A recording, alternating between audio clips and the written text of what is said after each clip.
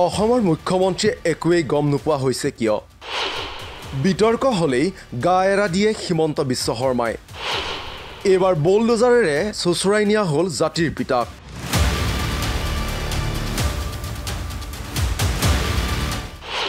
মুখ্যমন্ত্ৰীয়ে ক'লে মই একো নাজানো। পি আৰ চি প্ৰত্যাহাৰৰ জাননী গমেই নাপালে মুখ্যমন্ত্ৰীয়ে। নলবাৰীৰ ভোজ ভাতৰ গোন্ধ নাপালে মুখ্যমন্ত্ৰীয়ে টুৱেণ্টি ফ'ৰ ইণ্টু ছেভেন মুখ্যমন্ত্ৰীৰ পাভলতিত শতভাগ অসমবাসী।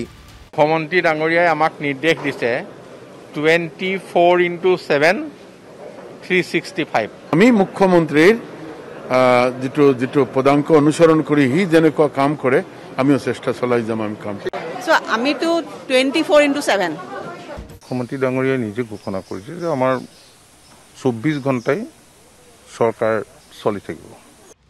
এয়া আছিল দুহেজাৰ একৈছ চনৰ মে' মাহৰ কথা।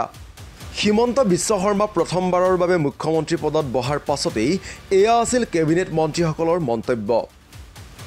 সতীৰ্থ মন্ত্ৰীৰ লগতে সকলো বিধায়ককে চৌবিছ ঘণ্টাই সতৰ্ক হৈ থাকি কাম কৰাৰ নিৰ্দেশ প্ৰদান কৰিছিল মুখ্যমন্ত্ৰী ডক্টৰ হিমন্ত বিশ্ব শৰ্মাই। কিন্তু সেই টুৱেণ্টি ফ'ৰ ইণ্টু ছেভেনৰ কথা নিৰ্দেশ দিয়া মুখ্যমন্ত্ৰীয়ে আজি নিজেই গমেই নাপায় ৰাজ্যৰ বিভিন্ন গুৰুত্বপূৰ্ণ ঘটনাৰ কথা। এইবাৰ ডুমডুমাস্থিত জাতিৰ পিতা মহাত্মা গান্ধীৰ প্ৰতিমূৰ্তি উচ্ছেদ কৰি বুলডোজাৰেৰে চোচৰাই লৈ যোৱা হ'ল। বাতৰি ওলাল সৰ্বত্ৰে। অথচ গমেই নাপালে কৰ্মদক্ষ আৰু সদা সক্ৰিয় অসমৰ মুখ্যমন্ত্ৰীগৰাকীয়ে। চাওক এই দৃশ্য। কিদৰে জাতিৰ পিতাক চোচৰাই লৈ যোৱা হৈছে বুলডোজাৰেৰে? ব্ৰিটিছীয় অৱদান ক্লক টাৱাৰ নিৰ্মাণৰ স্বাৰ্থতেই এইদৰে উচ্ছেদ কৰা হ'ল ঊনৈছশ একাৱন্ন ঊনৈছশ ছয়ষষ্ঠি চনৰ মাজৰ এই সময়ছোৱাত স্থাপন হোৱা গান্ধীজীৰ প্ৰতিমূৰ্তি। উল্লেখ্য যে ব্ৰিটিছ আমোলত শ্ৰমিক অথবা দাসসকলৰ নিমিত্তে নিৰ্মাণ কৰা হৈছিল ক্লক টাৱাৰ। আৰু এতিয়া বিজেপি বিধায়ক ৰূপেশ গোৱালাৰ সমষ্টিত সেই দাসত্বপূৰ্ণ ঔপনিৱেশিক মনোভাৱেৰেই যে নিৰ্মাণ কৰিবলৈ লোৱা হৈছে ক্লক টাৱাৰ। ঘটনাৰ পাছতেই এইদৰে এতিয়া প্ৰতিক্ৰিয়া প্ৰকাশ কৰিছে মহাত্মা গান্ধীৰ পৰিণাতি তুষাৰ গান্ধীয়ে। এক্স যোগে পোষ্টত তেওঁ কয় যে বিজেপিৰ দিনত এনে ঘটনা হোৱাটো আশ্চৰ্যকৰ কথা নহয়। বৰঞ্চ তেওঁলোকৰ মনত যে এতিয়াও ব্ৰিটিছ আমোলৰ দাসত্বপূৰ্ণ ঔপনিৱেশিক ভাৱধাৰা বিৰাজমান সেই কথাই প্ৰমাণ কৰিছে বুলি ক্ষোভ প্ৰকাশ কৰিছে বিশিষ্ট লেখকগৰাকীয়ে। তাৰ পাছতেই মুখ্যমন্ত্ৰী ডক্টৰ হিমন্ত বিশ্ব শৰ্মাৰ ৰিপোষ্ট। ঘটনাৰ কথা তেওঁ গমেই নাপায়।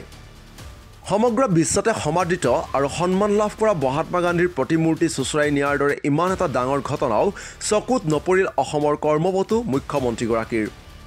অথচ সমষ্টিটোত আছে স্বয়ং বিজেপি বিধায়ক আৰু পৌৰসভাখনো বিজেপিৰ দখলতেই আছে।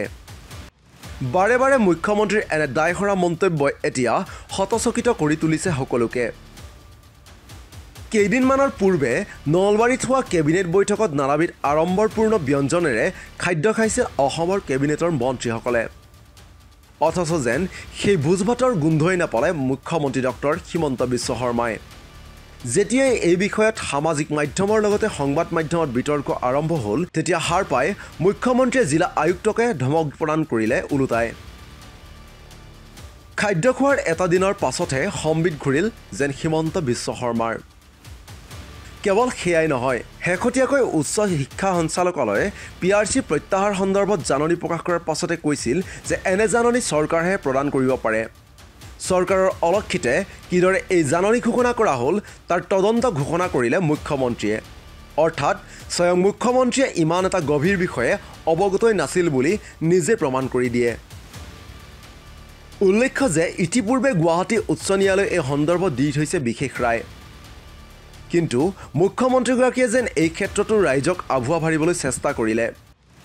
বাৰে প্ৰতি প্ৰাকে প্ৰকাৰে নিজৰ দোষ সৰাৰ চেষ্টাৰে বিভাগীয় কৰ্তৃপক্ষলৈ দুখ ঠেলা কাৰ্যই এতিয়া সংশ্লিষ্ট পক্ষসমূহৰ মাজতো তীব্ৰ অসন্তুষ্টিৰ সৃষ্টি কৰিছে। প্ৰশ্ন হৈছে টুৱেণ্টি ফ'ৰ ইণ্টু ছেভেন ঘণ্টাকৈ কাম কৰিবলৈ নিজে মন্ত্ৰী বিধায়কক নিৰ্দেশ দিয়া হিমন্ত বিশ্ব শৰ্মাই কিয় ৰাজ্যৰ গুৰুত্বপূৰ্ণ সিদ্ধান্তবোৰৰ বিষয়ে গম নোপোৱা হৈছে দিনক দিনে? কৰ্মদক্ষ আৰু সদা সক্ৰিয় বুলি দেখুৱাবলৈ অহৰহ প্ৰচেষ্টা কৰা মুখ্যমন্ত্ৰীয়ে কিয় বিতৰ্ক হ'লেই মূৰ পুলুকা মৰা আৰম্ভ কৰিছে সেয়াহে ৰহস্যজনক হৈ পৰিছে। News desk report D cross current.